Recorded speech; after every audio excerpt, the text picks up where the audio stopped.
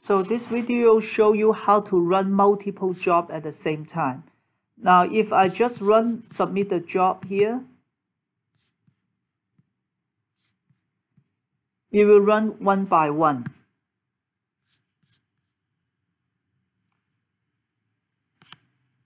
Firstly, it won't run SDE. That makes sense. We need to create a structure before we can run simulation in a device.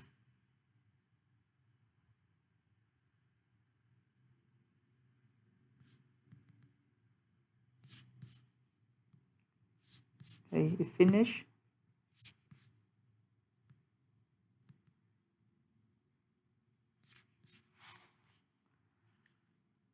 Now then you will start running SDevice, but you will submit this job first, this node first, and then the rest are waiting. That may take a long time if you have many CPUs.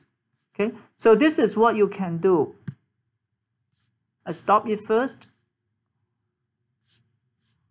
and I will go to the edit preferences. Edit preferences. Okay. And here I'm going to look for scheduler local jobs.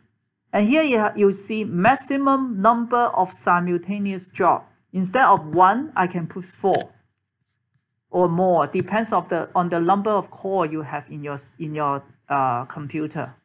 I mean the server Okay, then I save. Now, I try to run the job again. I say run.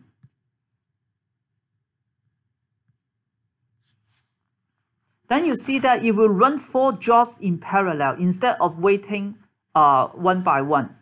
Okay, that will make the simulation faster.